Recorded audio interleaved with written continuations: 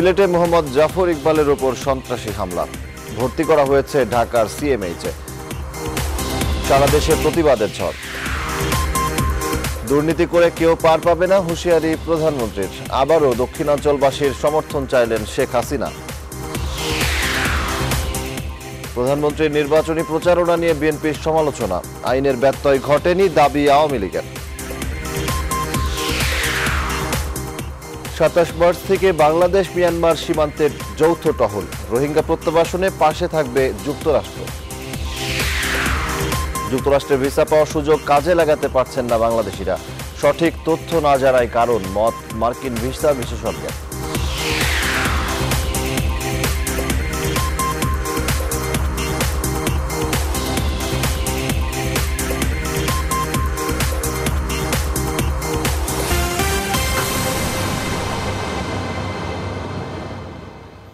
স্বাগত news twenty four সংবাদে। আপনাদের সাথে আছি আমি সজল দাস। নিজের প্রিয় ক্যাম্পাসেই দুর্বৃত্তের ছুরিকাঘাতে আহত হয়েছেন জনপ্রিয় লেখক ও অধ্যাপক ডক্টর মোহাম্মদ জাফর ইকবাল। তাকে ভর্তি করা হয়েছে ঢাকার সিএমএইচে গঠন করা হয়েছে পাঁচ সদস্যের মেডিকেল বোর্ড। এদিকে হামলাকারীর পরিচয় পেয়েছে পুলিশ। মাদ্রাসা ছাত্র ফয়জুর রহমান বাড়ি সুনামগঞ্জের দিরাই উপজেলায়। ফয়জুরের গ্রামের বাড়িতে অভিযান চালিয়ে তার মামা জেলা কৃষক লীগের যুগ্ম আহ্বায়ক ফজলুর রহমানকে আটক করেছে পুলিশ। বিস্তারিত জানাচ্ছেন প্লাবন রহমান। নিজ ক্যাম্পাসে হামলার শিকার ডক্টর জাফর ইকবালকে এভাবেই সিলেটের ওসমানী মেডিকেল কলেজ হাসপাতালে নিয়ে আসা হয়, যখন দুর্বৃত্তের ছুরিকাঘাতের ক্ষত নিয়ে কাতর জনপ্রিয় এই লেখক। সরাসরি অপারেশন থিয়েটারে নেওয়া হয় ডক্টর জাফর ইকবালকে। বাইরে অপেক্ষায় সহকর্মী শিক্ষার্থী ভক্ত শুভাকাঙ্ক্ষীরা। শঙ্কায় মুচড়ে পড়েন সবাই। স্যার মুক্ত মঞ্চে বসেছিলেন উপরে সোফায়। সাথে আমাদের কয়েকজন কলিগ ছিলেন আর পাশেই পুলিশও ছিল। হঠাৎ করে একজন এসে স্যারকে ওই পিছন থেকে এখানে আঘাত করে। প্রায় তিন চারটা মানে ছুরি দিয়ে আঘাত করে তিন চারবার। অপেক্ষার অবসান। রাতে হাসপাতালের পরিচালক জানান শঙ্কামুক্ত প্রিয় লেখক। বাট সবচেয়ে মারাত্মক ইঞ্জুরি ছিল ওনার মাথায়। মাথার বাম পাশে উপরের দিকে বাম পাশে ওনার ইঞ্জুরি ছিল প্রকট। তাছাড়া ওনার বাম হাতে একটা মাইনর ইঞ্জুরি আছে ওনার পিঠে একটা স্ট্যাব ইঞ্জুরি আছে। ধারণা করা হচ্ছে ওনাকে ব্লান্ট অথবা সার দুইটা দুই রকম অস্ত্র দিয়ে তাকে ওনাকে আঘাত করা হয়। উনি আমার উঠিতে উনি অ্যানেস্থেশিয়া দেওয়া পর্যন্ত উনি কথাই বলেছেন উনি সম্পূর্ণই সুস্থ। খবর পেয়ে সিলেট ওসমানী হাসপাতালে পৌঁছান শিক্ষামন্ত্রী। ঘটনায় জড়িতদের দৃষ্টান্তমূলক শাস্তি দাবি করেন তিনি। তার প্রতি যে আক্রমণ করা হয়েছে সেটার পিছনে কারা আছে কীভাবে আছে সেটা পুলিশ ইনভেস্টিগেশন করবে করেই সঠিক সিদ্ধান্ত নিবে। এটা পুলিশ এই কাজ শুরু করে দিয়েছে ইতিমধ্যে। আমরা পুলিশকে নির্দেশ দিয়েছি অবিলম্বে ইনভেস্টিগেশন করে সেখানে বাইর করে তাদেরকে গ্রেপ্তার করে ব্যবস্থা নিতে হবে। এর আগে শনিবার বিকেলে সিলেটের শাহজালাল বিজ্ঞান ও প্রযুক্তি বিশ্ববিদ্যালয়ের ইলেকট্রিক্যাল অ্যান্ড ইলেকট্রনিক ইঞ্জিনিয়ারিং বিভাগে ফেস্টিভ্যাল চলছিল ক্যাম্পাসের মুক্তমঞ্চে। ওই অনুষ্ঠানে প্রধান অতিথি হিসেবে উপস্থিত ছিলেন ডক্টর জাফর ইকবাল।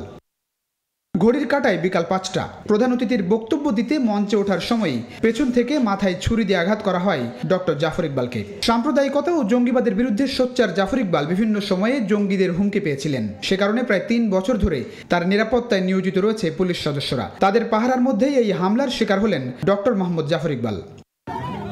ঘটনার পরপরই হামলাকারীকে ঘিরে ফেলে শিক্ষার্থীরা। দেয়া হয় গণপিটুনি। শনিবার রাত সাড়ে এগারোটার দিকে হামলাকারী ফয়জুর রহমানের পরিচয় নিশ্চিত করে পুলিশ। জানানো হয় মাদ্রাসা ছাত্র ফয়জুরের বাড়ি সুনামগঞ্জের দিরাই উপজেলায়। তবে ঠিক কী কারণে জাফর ইকবালের উপর এই হামলা, সে বিষয়ে এখন পর্যন্ত কিছুই জানা যায়নি। Rahman, news twenty Dhaka. শিক্ষাবিদ ডক্টর মোহাম্মদ জাফর ইকবালের ওপর হামলার ঘটনায় সারা দেশে তীব্র নিন্দা ও প্রতিবাদ বিক্ষোভ শুরু হয়েছে। এই হামলার প্রতিবাদে আজ বিকেল চারটায় শাহবাগে বিক্ষোভ সমাবেশ করবে গণজাগরণ মঞ্চ। একই ঘোষণা আসছে দেশের বিভিন্ন প্রান্ত থেকেই। সবার দাবি একটাই, হামলাকারী ও তার দোসরদের দৃষ্টান্তমূলক শাস্তি নিশ্চিত করার। প্রতিবেদন তৌফিক মাহমুদ মুন্নার। শনিবার বিকেলে শাহজালাল বিজ্ঞান ও প্রযুক্তি বিশ্ববিদ্যালয়ের মুক্তমঞ্চে এক অনুষ্ঠান চলাকালে দুর্বৃত্তের হামলার শিকার হন অধ্যাপক ডক্টর জাফর ইকবাল। এরপর তাকে ওসমানী মেডিকেল কলেজ হাসপাতালে ভর্তি করা হয়। এই হামলার প্রতিবাদে খুবই ফেটে পড়ে সারা দেশ। সন্ধ্যায় শাহবাগে তাৎক্ষণিক প্রতিবাদ সভা ও মশাল মিছিল বের করে বিভিন্ন সংগঠন। অবিলম্বে এই হামলাকারীদের দৃষ্টান্ত শাস্তি দাবি করেন তারা। আগামীকালের আমরা কর্মসূচি ঘোষণা করছি। আগামীকাল বেলা চার শাহবাগে আমরা বিক্ষোভ সমাবেশের ডাক দিচ্ছি। এর আমরা নিন্দা জানাই এবং সরকারের কাছে দাবি জানাই এর দ্রুত বিচার করা হোক এবং হামলাকারীদের গ্রেপ্তার করা হোক। এদিকে হামলার পরপরই সিলেটে বিক্ষোভে ফেটে পড়ে শিক্ষার্থী সহ নানান পেশার মানুষ। আজকে আমরা তাৎক্ষণিকভাবে এখানে সমাবেত হয়েছি। আমরা প্রতিবাদ মিছিল করছি। আমরা মনে করি জাফর ইকবাল স্যারের উপর হামলা মানে মুক্তিযুদ্ধের চেতনার উপর হামলা। নৃশংস এই হামলার প্রতিবাদ অনুষ্ঠিত হয় চট্টগ্রামে।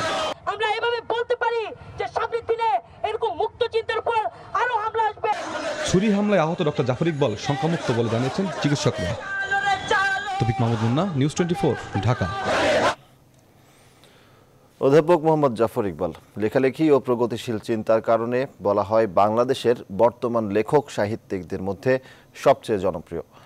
কিন্তু এই লেখককেই লেখালেখির কারণে বারবার মৃত্যুর হুমকি দিয়ে আসছে জঙ্গি ও ধর্মান্ধ গোষ্ঠী। সবশেষ শনিবার বিকেলে সিলেট সাবিপ্রবি ক্যাম্পাসে হামলার শিকার হলেন তিনি। কিন্তু কেন এই পাঠকপ্রিয় লেখক বারবার হামলার শিকার হচ্ছেন? সে প্রশ্নই ঘুরে ফিরে আসছে মানুষের মনে। আরও জানাচ্ছেন শাফিয়াজ রাসনা। মোহাম্মদ জাফর ইকবাল, একাধারে শিক্ষক ও লেখক। লেখালেখিতে তিনি তরুণ কিশোরদের মাঝে আকাশ সমান জনপ্রিয়। বৈজ্ঞানিক কল্পকাহিনী, গল্প উপন্যাসে তুলে ধরে বিজ্ঞানকে সহজ করেছেন পাঠকদের মাঝে। অধ্যাপনা করছেন সিলেট শাহজালাল বিজ্ঞান ও প্রযুক্তি বিশ্ববিদ্যালয়ের কম্পিউটার বিজ্ঞান ও প্রকৌশল বিভাগে। খুবই আগ্রহী ছোট বাচ্চাদেরকে বই পড়ানো শেখাতে। ওরা বই পড়া শিখে যায়, তাহলে ওদেরকে নিয়ে আমার কোনো চিন্তা নাই। তার লেখায় সাম্প্রদায়িকতা ও মৌলবাদী চেতনার মূলে আঘাত করার প্রেরণা খুঁজে পায় এদেশের মানুষ। এসব কারণে অনেকবারই হত্যার হুমকি পেয়েছেন এই লেখক ও শিক্ষাবিদ। দুই হাজার ষোলো সালে আনসারুল্লাহ বাংলা টিম তাকে হত্যার হুমকি দিয়ে মোবাইলে বার্তা পাঠায়। অন্য জঙ্গি সংগঠনগুলো টার্গেট করে আসছে অনেক বছর ধরে। অনেকেরই কিছু অসুবিধা হয়েছে আসলে সেটা অস্বীকার করব না আমি। এই যাদের অসুবিধা হয়েছে তারা হয়তো এর আগে দুই হাজার সালে সিলেটে আরেকবার জঙ্গিদের আক্রমণের শিকার হন তিনি। সে সময় এর বিরুদ্ধে সোচ্চার হয়ে সিলেটে অবস্থান গ্রহণ ও অনশন করেন আরেক জনপ্রিয় লেখক ও অগ্রজ হুমায়ুন আহমেদ। যারা ধর্মটাকে ব্যবহার করে আমি ওদের কথা বলছি না আসলে। ওরা তো অবশ্যই ধর্মটাকে ব্যবহার করে তার নিজের যেটা দরকার সেটা করে নেওয়ার চেষ্টা করছে তবে মৃত্যুর হুমকি নিয়ে মোটেও বিচলিত না হয়ে মুক্ত চিন্তার পক্ষে বারবারই কলম ধরেছেন জনপ্রিয় এই লেখক। যে এই দেশকে হতাশ হওয়ার কিছু নাই। অনেক মানে আপস অ্যান্ড ডাউনস হয়। পৃথিবীর এমন কোনো দেশ নাই যেখানে নাকি ওদের আপস অ্যান্ড ডাউনস যায় না। কিন্তু সম্ভাবনা যদি থাকে আমাদের দেশের আছে সম্ভাবনা। Safiaz Rasna news twenty Dhaka. Mohammad Zafar ইকবালের উপর হামলার ঘটনায় তীব্র নিন্দা জানিয়েছেন প্রধানমন্ত্রী শেখ হাসিনা। একই সঙ্গে প্রকৃত দোষীদের খুঁজে বের করে আইনের আওতায় আনার জন্য নির্দেশ দিয়েছেন তিনি। প্রধানমন্ত্রীর উপ প্রেস সচিব আশরাফুল আলম খোকন জানিয়েছেন, চিকিৎসাধীন মোহাম্মদ জাফর ইকবালের নিয়মিত খোঁজ খবর রাখছেন প্রধানমন্ত্রী শেখ হাসিনা। এদিকে জাফর ইকবালের ওপর হামলার ঘটনার তীব্র নিন্দা জানিয়েছেন বিএনপি মহাসচিব মির্জা ফখরুল ইসলাম আলমগীর। ঘটনার পরপরই শনিবার রাতে ফখরুল বলেন, একটি চক্র ঘোলা পানিতে মাছ শিকারের অপচেষ্টায় সমাজের সম্মানিত লোকদের ওপর হামলা চালাচ্ছে। ঘটনা এগুলোকে আমরা প্রচণ্ডভাবে নিন্দা জানাচ্ছি এবং আমরা কখনোই এইসব সন্ত্রাসের পক্ষে নই। আমি মনে করি যে এটা আরেকটা আপনার চক্রান্ত, যারা আপনার দেশের আপনার এই ধরনের ঘোলা ঘোলা পানিতে মাছ শিকার করতে চায়, তাদেরই এটা চক্রান্ত। এবার অন্যান্য খবর। আদালতের রায়ে বিএনপি নেত্রী খালেদা জিয়া কারাগারে। সেখানে সরকারের কিছু করার নেই জানিয়ে প্রধানমন্ত্রী শেখ হাসিনা বলেছেন, দুর্নীতি করে কেউ পার পাবে না। খুলনা নগরীর সার্কিট হাউস ময়দানে আওয়ামী লীগের জনসভায় তিনি এসব কথা বলেন। একই সাথে দেশের উন্নয়ন অগ্রযাত্রা অব্যাহত রাখতে আবারও নৌকা মার্কায় ভোট চাইলেন আওয়ামী লীগ সভাপতি। খুলনা থেকে আরও জানাচ্ছেন, তানজির মেহেদি, ক্যামেরায় ছিলেন শাকিল মল্লিক। বসন্তের দুপুরেও ছিল তপ্ত রোদ্দুর। সেই তাপ মাথায় নিয়ে কানায় কানায় পূর্ণ হয়ে ওঠে খুলনা সার্কিট হাউস ময়দান। শিল্পনগরী খুলনায় আরও একবার প্রধানমন্ত্রী শেখ হাসিনা আর তাকে স্বাগত জানাতেই নানা বয়সী মানুষের আগমনে মুখর জনসভা প্রাঙ্গণ। জনসভা প্রাঙ্গণে এসে উন্নয়ন ফলকের সামনে প্রধানমন্ত্রী শেখ হাসিনা। রূপসাপাড়ের মানুষের ভাগ্য উন্নয়নে শখানেক উন্নয়ন প্রকল্পের উদ্বোধন ও ভিত্তি স্থাপন করেন তিনি। প্রধানমন্ত্রী সভামঞ্চে আসতে আরও একবার উল্লসিত পুরো মাঠ হাত নেড়ে মুখরিত জনতার অভিবাদন গ্রহণ করেন আওয়ামী লীগ সভাপতি। জনসভায় বক্তব্য রাখেন দলের কেন্দ্রীয় ও স্থানীয় নেতারা। নেত্রীর প্রতি আপনাদের যে ভালোবাসা, আজকে সে এই জনসভায় সেটা প্রমাণ করে যে বাংলাদেশের মানুষ, এই অঞ্চলের মানুষ বুঝতে পেরেছে যে কে তাদের আপন? বঙ্গবন্ধু কন্যা বলেন আওয়ামী লীগ নিজেদের ভাগ্য উন্নয়নে নয় দেশ ও মানুষের উন্নয়নের রাজনীতি করে। ভোলায় অনেক গ্যাস পাওয়া গেছে। আমরা পরিকল্পনা নিচ্ছি সেই গ্যাস আমরা পাইপ লাইনে করে বরিশাল এবং খুলনায় যাতে গ্যাস আছে তার ব্যবস্থা আমরা করে দেব। এ সময় বিএনপির রাজনীতির সমালোচনা করেন প্রধানমন্ত্রী। যারা যুদ্ধাপরাধী যাদের বিচার আমরা বাংলার মাটিতে করেছি, জাতির পিতার হত্যাকারীদের বিচার আমরা করেছি, অপরাধী যে হোক, তাকে শাস্তি পেতেই হবে। আজকে খালেদা জিয়া দুর্নীতি করেছে, কোর্ট রায় দিয়েছে, সেই রায় সে কারাগারে।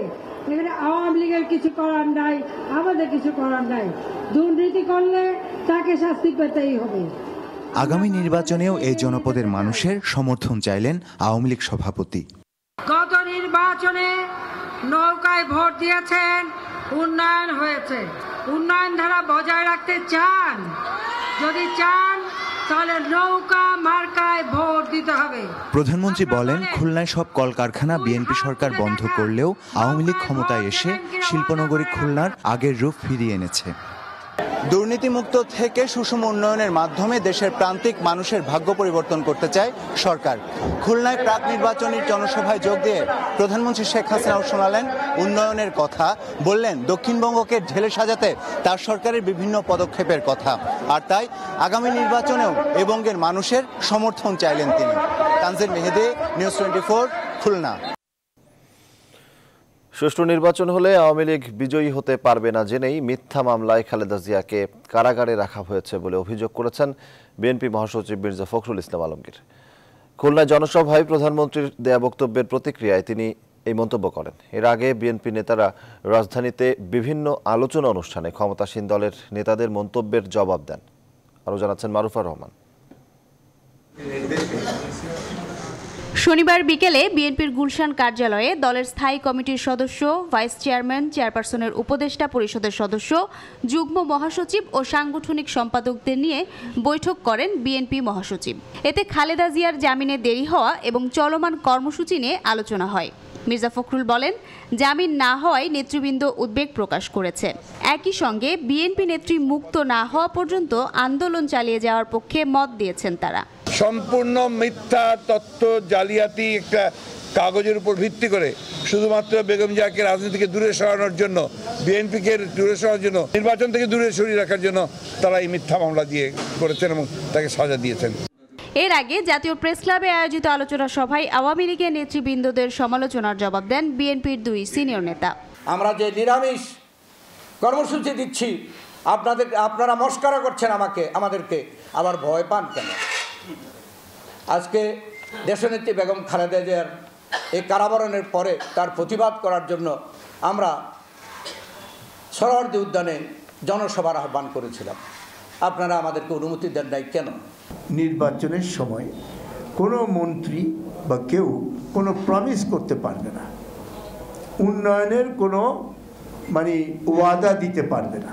কিন্তু তারা সেই এই এই সময়ে তারা সেই সুযোগটা নিচ্ছেন এটা অনৈতিক এবং বেআইনি।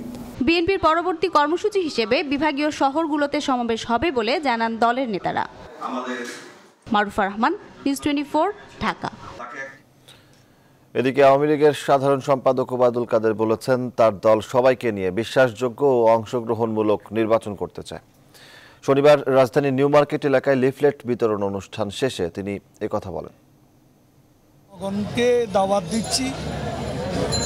এই সমাবেশে উপস্থিত থাকার জন্য আমরা বিশাল পরিসরে জনসভা করছি।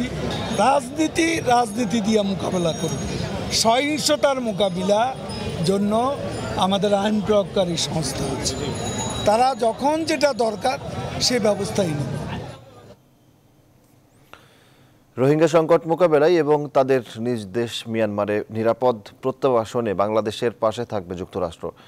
শনিবার কক্সবাজারে রোহিঙ্গা ক্যাম্প পরিদর্শন শেষে সাংবাদিকদের একথা জানান সফররত মার্কিন প্রেসিডেন্ট ডোনাল্ড ট্রাম্পের দক্ষিণ এশিয়া বিষয়ক প্রধান উপদেষ্টা লিসা কার্টিস। এদিকে স্বরাষ্ট্রমন্ত্রী আসাদুজ্জামান খান কামাল জানিয়েছেন, আগামী সাতাশে মার্চ থেকে সীমান্তে বাংলাদেশ মিয়ানমারের যৌথ টহল শুরু হবে। ইসমত রেশুকে সাথে নিয়ে বিস্তারিত জানাচ্ছেন রিশাদ হাসান। শনিবার দুপুরে কক্সবাজার কুতুপালং ক্যাম্প পরিদর্শন করেন সফরত মার্কিন প্রেসিডেন্ট ডোনাল্ড ট্রাম্পের দক্ষিণ এশিয়া বিষয়ক প্রধান উপদেষ্টা লিসা কার্টিস। এ সময় তার সাথে ছিলেন মার্কিন রাষ্ট্রদূত মার্শা বার্নিকার। রোহিঙ্গা পরিস্থিতি সচক্ষে দেখার পর সাংবাদিকদের মুখোমুখি হন তারা। জোর দেন কফি আনান কমিশনের প্রস্তাব বাস্তবায়নের উপর। রোহিঙ্গা সংকটে মানবিক সাড়া দেয় বাংলাদেশ ও বাংলাদেশের জনগণের উচ্ছ্বসিত প্রশংসা করে তারা বলেন, রোহিঙ্গাদের স্বেচ্ছায় ও নিরাপদে দেশে ফিরে যেতে কাজ করবে মার্কিন যুক্তরাষ্ট্র। এ ব্যাপারে বাংলাদেশকে সব ধরনের সহযোগিতা দেওয়ার কথাও বলেন তারা। বাংলাদেশ সরকারের কাছে যুক্তরাষ্ট্র গভীরভাবে কৃতজ্ঞ। আমরাও বাংলাদেশ সরকারের পাশে আছি এবং এ বিষয়ে একসঙ্গে কাজ করতে আগ্রহী। In helping the Rohingya people. That the United States supports যুক্তরাষ্ট্র শুধু এই অসহায় মানুষদের জীবনের নিরাপত্তা নিয়ে চিন্তিত নয় আমরা বাংলাদেশ সরকারের সাথে মিলেমিশে কাজ করতে চাই। এদিকে ঢাকায় এক অনুষ্ঠানে স্বরাষ্ট্রমন্ত্রী জানিয়েছেন, বাংলাদেশ মিয়ানমার সীমান্ত উত্তেজনা কমাতে আগামী সাতাশ মার্চ থেকে যৌথ মহড়া করবে দুদেশের সীমান্তরক্ষী বাহিনী, বিজিবি ও বিজেপি। তারা আমাদেরকে যেটা জানিয়েছে যে তাদের কাছে একটা ভুল তথ্য ছিল, ভুল তথ্যের ভিত্তিতে তাদের সেনাবাহিনীর কিছু মুভমেন্ট সেখানে হয়েছিল এবং তারা এটা ভুল ছিল, এটা তারা বলছেন পাশাপাশি আমাদের পতাকা বৈঠক হয়েছে এবং পতাকা বৈঠকে এই সমস্ত কথাটাই আসছে। তারা ভারী অস্ত্র অলরেডি ফিরিয়ে নিয়ে গিয়েছে। গত বৃহস্পতিবার থেকে তুমরু সীমান্তে শুরু হওয়া উত্তেজনা পরিস্থিতি এখন স্বাভাবিক রয়েছে বলে জানিয়েছেন চৌত্রিশ বিজিবি অধিনায়ক। কিছুটা অস্থিরতা হয়েছিল বাট এটা উল্লেখযোগ্য কিছু নয় ভীত আর কিছু নেই। সীমান্তের পরিবেশ এখন স্বাভাবিক শান্ত। তবে সীমান্ত নিরাপত্তা জোরদার অব্যাহত রেখেছে BGB. Rishad Hasan news twenty four Tumru সীমান্ত বান্দরবান। সঠিক তথ্য না জানায় যুক্তরাষ্ট্রে পড়াশোনা, ব্যবসা বাণিজ্য ও বসবাসের জন্য ভিসা পাওয়ার সুযোগ কাজে লাগাতে পারছেন না বাংলাদেশিরা। এতে কোটি কোটি মার্কিন ডলার রেমিটেন্স আয়ের সুযোগ থেকে বঞ্চিত হচ্ছে সরকারও। আর তাই কীভাবে এই সুযোগকে কাজে লাগাতে পারে বাংলাদেশিরা? সে বিষয়ে নিউজ টোয়েন্টি ফোরের সঙ্গে কথা বলেন মার্কিন ভিসা বিশেষজ্ঞ ও আইনজীবী দিল্লি রাজভাট্রা। জানাচ্ছেন লাকমিনা জেসমিন সোমা। ওয়ার্ল্ড ব্যাংকের তথ্য অনুসারে মাত্র তিন কোটি জনসংখ্যার দেশ নেপাল প্রতি বছর যুক্তরাষ্ট্র থেকে আয় করছে গড়ে তিনশো চৌদ্দ মিলিয়ন ডলার। আর সেখানে ষোলো কোটি জনসংখ্যা নিয়েও মার্কিন যুক্তরাষ্ট্র থেকে বাংলাদেশ সরকারের রেমিটেন্স আসছে মাত্র চারশো মিলিয়ন ডলার। অন্যদিকে, আট গুণ বেশি জনসংখ্যার দেশ ভারত আয় করছে দশ হাজার ছয়শো সাতান্ন মিলিয়ন মার্কিন ডলার। যুক্তরাষ্ট্র থেকে রেমিটেন্স আয়ে বাংলাদেশের এমন পিছিয়ে পড়ার বড় কারণ ভিসা পাওয়ার সুযোগ সম্পর্কে না জানা। বলছেন মার্কিন আইনজীবী দিল্লি রাজভাট্টা। কেন পিছিয়ে আছে বাংলাদেশ? এখানে মানসম্মত শিক্ষিত মানুষ আছে। তারা এদেশের দেশের প্রবাসী বাড়াতে পারে। এমনকি যুক্তরাষ্ট্র থেকে দক্ষ হয়ে দেশে ফিরে মাইক্রোসফটের মতো বড় বড় প্রতিষ্ঠানের আঞ্চলিক অফিসে কাজ করতে পারে। অনেক বাংলাদেশি জানেন না তাদের জন্য কত ভালো সুযোগ রয়েছে। দুই হাজার সতেরো সালে গ্রিন কার্ডের আয়তায় যখন আঠারো হাজার এবং ফ্যামিলি পিটিশনে সতেরো হাজার বাংলাদেশি যুক্তরাষ্ট্রে স্থায়ী বসবাসের ভিসা পেয়েছে, তখন পেশাজীবী হিসেবে ভিসা পেয়েছে মাত্র পাঁচশো তিপ্পান্ন জন। ভাট্টা বলছেন, দক্ষ পেশাজীবী হওয়া সত্ত্বেও তথ্য না জানায় বাংলাদেশিরা ভিসার সুযোগ নিতে পারছেন না। শুধুমাত্র ইবিয়ন থেকে ইবি ফাইভ ক্যাটাগরিতে ভিসার আবেদন করতে পারেন বাংলাদেশিরা। বিশেষ করে ইবি টু বিশেষ ক্যাটাগরিতে ভিসা নিয়ে দক্ষ পেশাজীবীরা চাইলেই মার্কিন যুক্তরাষ্ট্রের দীর্ঘস্থায়ী বসবাস কিংবা নাগরিকত্ব পেতে পারেন। এছাড়া অনেক বাংলাদেশি জানেন না ই টু ভিসা শুধুমাত্র বাংলাদেশি ও পাকিস্তানের জন্য।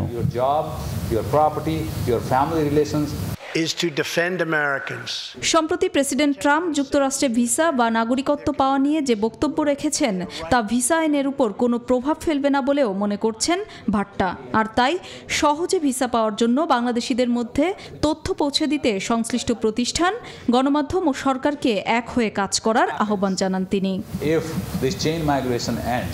Lakmina Jasmin Soma news twenty Dhaka. News four সংবাদে ছোট্ট একটি বিরতি নিচ্ছি। আমাদের সঙ্গেই থাকুন।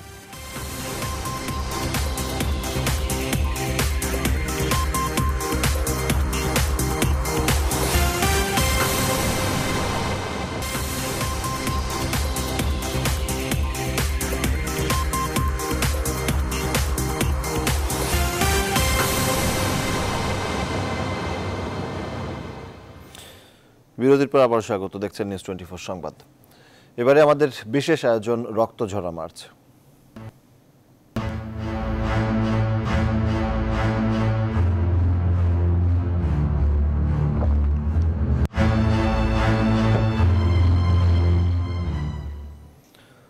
একাত্তরের ষোলোই ডিসেম্বরেও মুক্ত হয়নি দেশের অনেক এলাকা।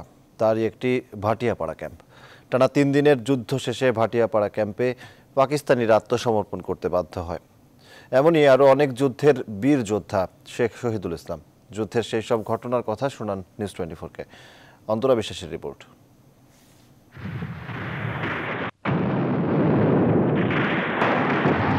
ডিসেম্বর মাস, উনিশশো একাত্তর।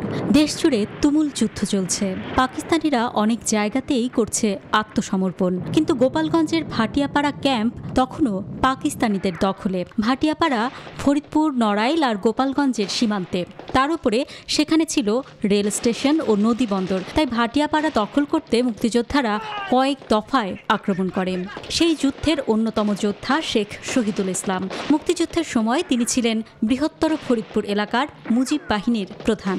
আমরা তিন দিক থেকে এই পাকিস্তানিদেরকে ভাটিয়াপাড়া যুদ্ধে আক্রমণ করি। কিন্তু তারা এত সুরক্ষিত ছিল যে তারা আত্মসমর্পণ করে না। এবং আমাদের সঙ্গে তাদের প্রায় সপ্তাহখানেক ওখানে যুদ্ধ হয়। ষোলোই ডিসেম্বর উনিশশো একাত্তর বিজয়ের দিন। সেদিন মুক্তিযোদ্ধারা ভাটিয়াপাড়া ক্যাম্প আক্রমণ করেন। টানা তিন দিনের যুদ্ধ শেষে উনিশে ডিসেম্বর পাকিস্তানিরা মুক্তিযোদ্ধাদের কাছে করে আত্মসমর্পণ। তারা একটা শর্ত দেয় যে তারা আমাদের কাছে আত্মসমর্পণ করবে না, ভারতীয় মিত্র বাহিনী মানে ভারতীয় বাহিনীর কাছে আত্মসমর্পণ করবে। মুক্তিযুদ্ধে পরবর্তীতে তাদেরকে আত্মসমর্পণ করাতে সমর্থ হই। যখন তারা শুনল যে ঢাকা আত্মসমর্পণ হয়ে গেছে তখন তারা আত্মসমর্পণ করতে বাধ্য হয়। মাদারীপুরের সাধুর ব্রিজটাও উড়িয়ে দিয়েছিলেন শেখ শহীদুল ইসলামরা। ব্রিজটি ধ্বংস করায় পাকিস্তানিদের ঢাকা ও ফরিদপুর থেকে বরিশালের সাথে যোগাযোগ বিচ্ছিন্ন হয়ে যায়। কিন্তু কাজটি খুব সহজ ছিল না। ব্রিজটির পাহারায় ছিল রাজাকাররা। তাদেরকে হটিয়ে দিতেই আক্রমণ করে বসে পাকিস্তানিরা। তখন পাকিস্তানি সেনারা বরিশাল থেকে এবং ফরিদপুর থেকে, উভয় দিক থেকে এসে আমাদের সঙ্গে ওখানে যুদ্ধে লিপ্ত হয়। এবং এই যুদ্ধটাও আমাদের প্রায় দুই তিন দিন চলে এবং আমরা পাকিস্তানি সেনাদের হটিয়ে দিতে আমরা সমর্থ হই এবং আমরা পরে ব্রিজটা ধ্বংস করতেও সমর্থ হই। এমনি আরও অগণিত যুদ্ধে অংশ নেন মুক্তিযোদ্ধা শেখ শহীদুল ইসলাম। তিনি ছিলেন ছাত্রলীগের কেন্দ্রীয় কমিটির সহসভাপতিও মার্চের উত্তাল দিনগুলোতে কঠিন সংগ্রামে ছাত্র জনতাকে একত্রিত করতে আন্দোলনে লিপ্ত ছিলেন মুক্তিযুদ্ধের এই সংগঠক। অন্তরা বিশ্বাস নিউজ টোয়েন্টি ঢাকা। সাবেক রাষ্ট্রদূত আশফাকুর রহমান আন্টি শনিবার বিকেলে হৃদরোগে আক্রান্ত হয়ে তিনি ইন্তেকাল করেন। এন্ডালিল্লাহি ওয়াইনিল্লাহি রাজিউন। তার বয়স হয়েছিল সত্তর বছর। তিনি দুই কন্যা সহ আত্মীয় স্বজন ও অসংখ্য গুণগ্রাহী রেখে গেছেন। তার মৃত্যুর খবর ছড়িয়ে পড়লে কূটনীতিক সহ বিভিন্ন মহলে শোকের ছায়া নেমে আসে। আশফাকুর রহমান উনিশশো আটচল্লিশ সালের দশ ফেব্রুয়ারি জন্মগ্রহণ করেন। তিনি civil service of Pakistan CSP প্রশাসন ক্যাডারের উনিশশো সত্তর ব্যাচের কর্মকর্তা ছিলেন। স্বাধীনতার পর তিনি জাতির জনক বঙ্গবন্ধু শেখ মুজিবুর রহমানের অধীনে কাজ করেন। তারপর তার চাকরি ফরেন সার্ভিসে ন্যস্ত করা হয়। তিনি চীন ও জার্মানিতে বাংলাদেশের রাষ্ট্রদূত এবং সিঙ্গাপুরে বাংলাদেশের হাই কমিশনার ছিলেন। তার মেয়েরা বিদেশে থাকায় তারা দেশে এলে সোমবার তার জানাজা ও দাফন সম্পন্ন হবে।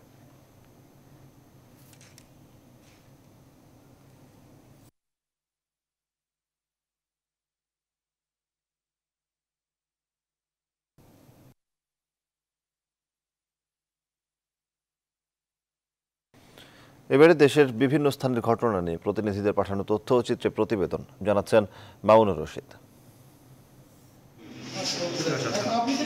চুয়াডাঙ্গার আলমডাঙ্গায় প্রস্তুতিকালে আন্তজেলা ডাকাত দলের তিন সদস্যকে আটক করেছে পুলিশ।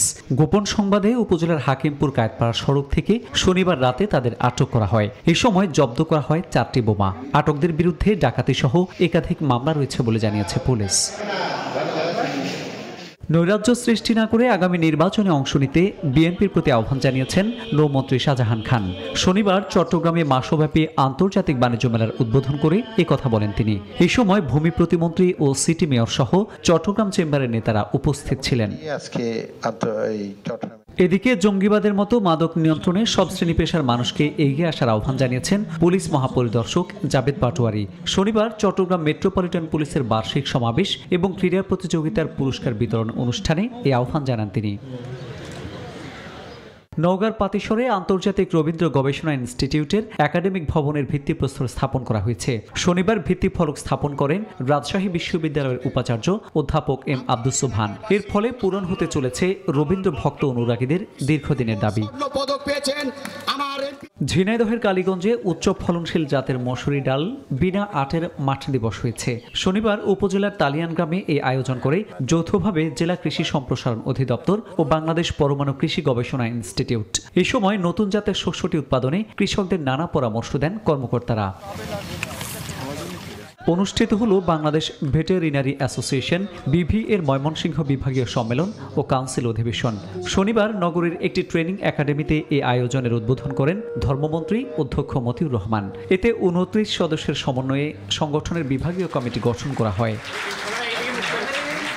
লক্ষ্মীপুরের রায়পুরের চর আবাবিল উচ্চ বিদ্যালয়ের প্রাক্তন শিক্ষার্থীদের পুনর্মিলনী হয়েছে। শনিবারের এই অনুষ্ঠান শিক্ষার্থীদের মিলন মেলায় পরিণত হয়। বিদ্যালয়ের প্রাক্তন ছাত্রছাত্রী ফোরামের পক্ষ থেকে অনুষ্ঠানে বাইশ জন মুক্তিযোদ্ধাকে সম্মাননা দেওয়া হয়। এবারে ফার্স্ট সিকিউরিটি ইসলামী ব্যাংক অর্থ বাণিজ্যের সংবাদ।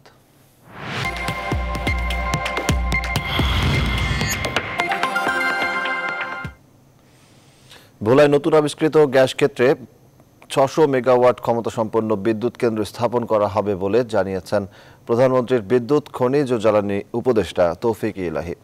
শনিবার সকালে রাজধানীতে ঢাকা ক্লাবের সেমিনার কক্ষে ফোরাম ফর এনার্জি রিপোর্টার্স বাংলাদেশের উদ্যোগে আয়োজিত এক আলোচনা সভায় কথা বলেন তিনি। এ সময় ভোলার এই ক্ষেত্রটি থেকে প্রায় দেড় টিসিএফ গ্যাস উত্তোলন করা যাবে জানিয়ে উত্তোলিত গ্যাস ওই অঞ্চলের অর্থনৈতিক উন্নয়নে বিশেষ ভূমিকা রাখবে বলে জানান তিনি। এ সময় বাংলাদেশে খনিজ সম্পদের বর্তমান মজুদ ও ভবিষ্যৎ সম্ভাবনার উপর বিশেষ প্রবন্ধ উপস্থাপন করেন দীর্ঘদিন জ্বালানি বিষয়ে কাজ করা বিশেষজ্ঞরা। বাস্তবায়ন বা পরিকল্পনাধীন মিলে ছশো মেগাওয়াটের মতো হয়।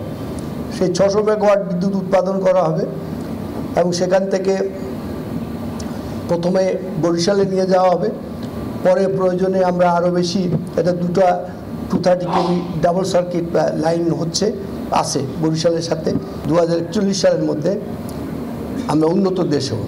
আপনাদের কাছে অনুরোধ রবে যে দুশো একচল্লিশ সালের বাংলাদেশকে কি হবে এবং সেখানে ফসিল ফুয়েলের কি প্রয়োজন হবে বা এক্সপ্লোরেশন কি হবে, এগুলো আপনারা আমাদেরকে যদি মাঝে মাঝে বুদ্ধি দেন তাহলে হয়তো আমরা লাভবান হব। নিউজ সংবাদে আবারও বিরতি নিচ্ছে। ফিরছে একটু পর। আমাদের সঙ্গেই থাকুন।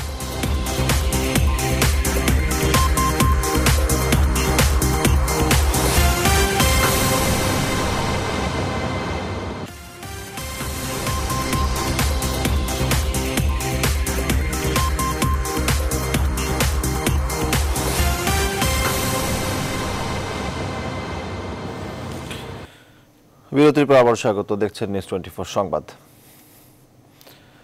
এবারে আবহাওয়ার খবর, জানাতে যোগ দিচ্ছেন সহকর্মী মাহফুজুল ইসলাম।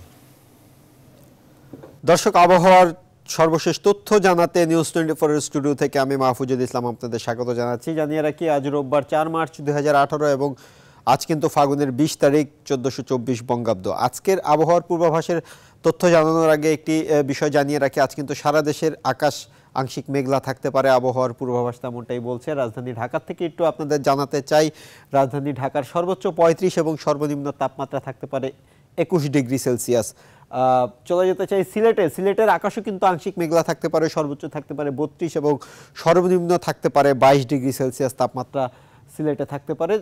চট্টগ্রামের অবস্থা একটু জানাতে চাই। চট্টগ্রামের কিন্তু সর্বোচ্চ তাপমাত্রা থাকতে পারে আট, আঠাশ ডিগ্রি সেলসিয়াস এবং সর্বনিম্ন থাকতে পারে উনিশ ডিগ্রি সেলসিয়াস এবং আকাশ কিন্তু আংশিক মেঘলা থাকতে পারে চট্টগ্রামে। চলে যেতে চাই হচ্ছে গিয়ে বরিশালে উপকূলীয় অঞ্চল, সেখানে সর্বনিম্ন তাপমাত্রা থাকতে পারে বাইশ ডিগ্রি এবং সর্বোচ্চ থাকতে পারে পঁয়ত্রিশ ডিগ্রি সেলসিয়াস তাপমাত্রা। চলে যেতে চাই ময়মনসিংহে। ময়মনসিংহের অবস্থাও কিন্তু সর্বোচ্চ তাপমাত্রা চৌত্রিশ এবং সর্বনিম্ন বিশ। আকাশ কিন্তু আংশিক মেঘলা থাকতে পারে ময়মনসিংহে। চলে যেতে চাই খুলনায়। খুলনার অবস্থা যদি জানাতে চাই, খুলনায় সর্বনিম্ন বাইশ এবং সর্বোচ্চ থাকতে পারে ছত্রিশ ডিগ্রি সেলসিয়াস তাপমাত্রা। আকাশ আংশিক মেঘলা থাকবে। খুলনায় আজকের আবহাওয়ার পূর্বাভাস তেমনটাই বলছে। রাজশাহীর অবস্থা জানাতে চাই, রাজশাহী কিন্তু সর্বোচ্চ ছত্রিশ এবং সর্বনিম্ন থাকতে পারে আঠারো ডিগ্রি সেলসিয়াস তাপমাত্রা।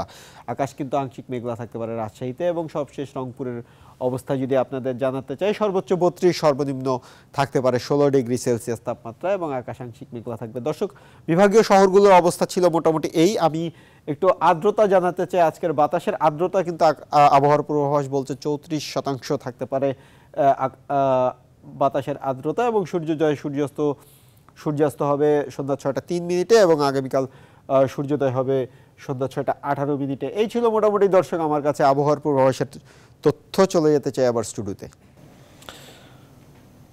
সহকর্মী মাহফুজুল ইসলাম যোগ দিয়েছিলেন, আবহাওয়ার খবর জানাচ্ছিলেন তিনি আমাদেরকে। নিউজ সংবাদে আবারও বিরতি নিচ্ছি। আমাদের সঙ্গেই থাকুন।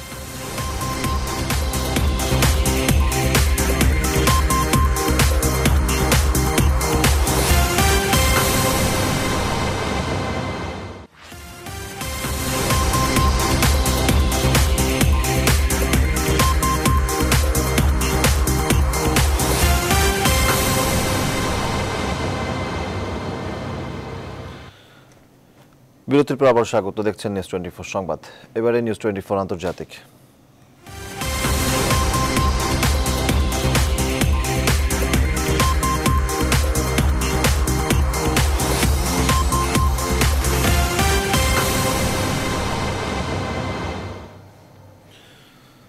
হোয়াইট হাউসের সামনে এক ব্যক্তি গুলি করে আত্মহত্যা করেছে।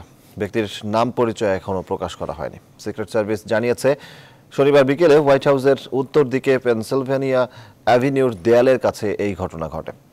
ওয়াশিংটন ডিসির পুলিশ জানিয়েছে, এই ঘটনায় কাউকে কেউই আহত হয়নি। ওই সময় প্রেসিডেন্ট ডোনাল্ড ট্রাম্প ও তার স্ত্রী ফ্লোরিডাতে অবস্থান করছিলেন। ওয়াশিংটন পোস্টের খবরে বলা হয়, গুলির শব্দে উৎসুক মানুষের ভিড় জমে যায় প্রেসিডেন্টের বাসভবনের সামনে। সাম্প্রতিক বছরগুলোতে হোয়াইট হাউসকে ঘিরে এই জাতীয় ঘটনার, এই জাতীয় ঘটনার মাত্রা বেড়ে গেছে। তেইশ ফেব্রুয়ারি হোয়াইট হাউসের নিরাপত্তা বেষ্টনী উপেক্ষা করে গাড়ি ঢুকিয়ে দেয় পঁয়ত্রিশ বছর বয়সী এক নারী। পরে তাকে আটক করা হয়। তার আগে দু হাজার মার্চে হোয়াইট হাউসের দেয়াল টপকে অস্ত্রধারী এক ব্যক্তি মরিচের স্প্রে হাতে নিয়ে ষোলো মিনিটেরও বেশি সময় ভেতরে অবস্থান করতে সক্ষম হয়।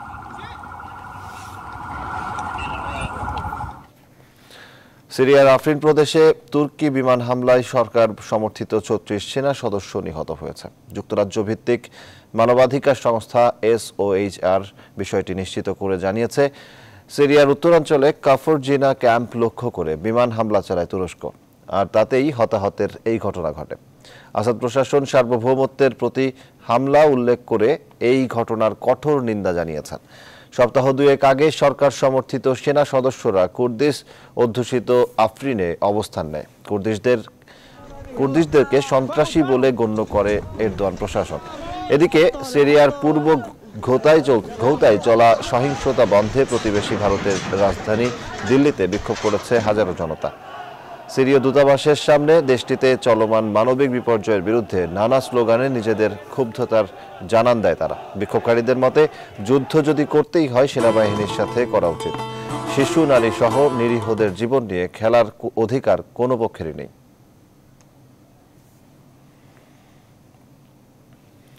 বিশ্বজুড়ে বৈরী আবহাওয়ার কারণে মৃতের সংখ্যা বেড়ে চলেছে। গেল এক সপ্তাহের তীব্র ঠান্ডায় ইউরোপের বিভিন্ন স্থানে মৃতের সংখ্যা বেড়ে দাঁড়িয়েছে ষাট জনে।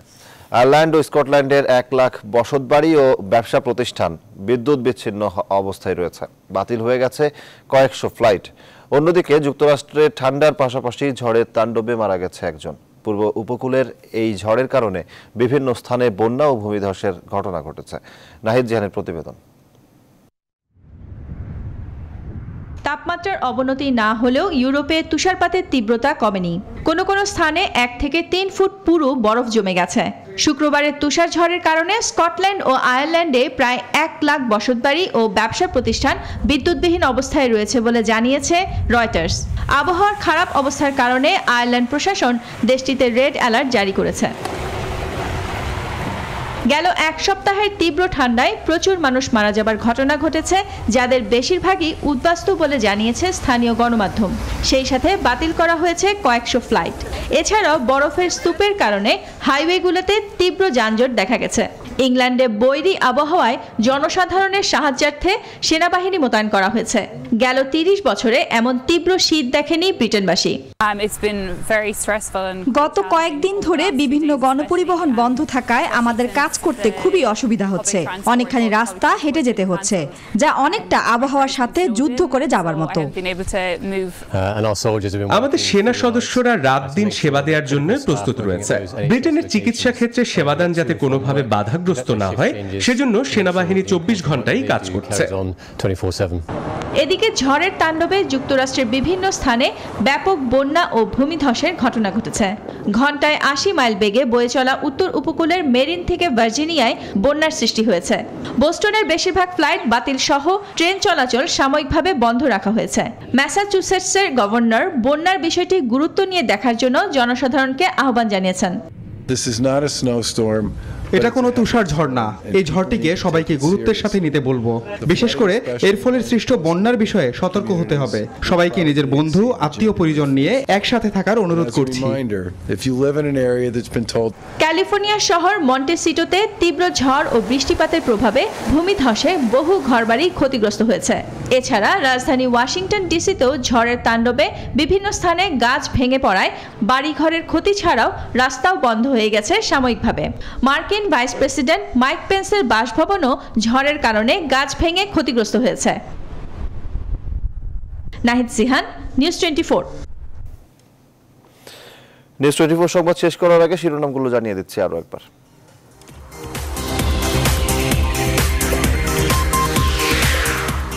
সিলেটে মোহাম্মদ জাফর ইকবালের ওপর সন্ত্রাসী হামলা। ভর্তি করা হয়েছে ঢাকার সিএমএইচে। সারা দেশে প্রতিবাদের ঝড়। দুর্নীতি করে কেউ পার পাবে না, হুঁশিয়ারি প্রধানমন্ত্রীর। আবারও দক্ষিণাঞ্চলবাসীর সমর্থন চাইলেন শেখ হাসিনা। প্রধানমন্ত্রীর নির্বাচনী প্রচারণা নিয়ে বিএনপির সমালোচনা। আইনের ব্যত্যয় ঘটেনি দাবি আওয়ামী লীগের। সাতাশ মার্চ থেকে বাংলাদেশ মিয়ানমার সীমান্তে যৌথ টহল। রোহিঙ্গা প্রত্যাবাসনে পাশে থাকবে যুক্তরাষ্ট্র। এবং যুক্তরাষ্ট্রের ভিসা পাওয়ার সুযোগ কাজে লাগাতে পারছেন না বাংলাদেশিরা। সঠিক তথ্য না জানায় কারণ মত মার্কিন ভিসা বিশেষজ্ঞ। নিউজ টোয়েন্টি ফোর সংবাদে ছিল এখনকার মতো। আমাদের পরবর্তী আয়োজন দেখার আমন্ত্রণ রইল। ধন্যবাদ সবাইকে।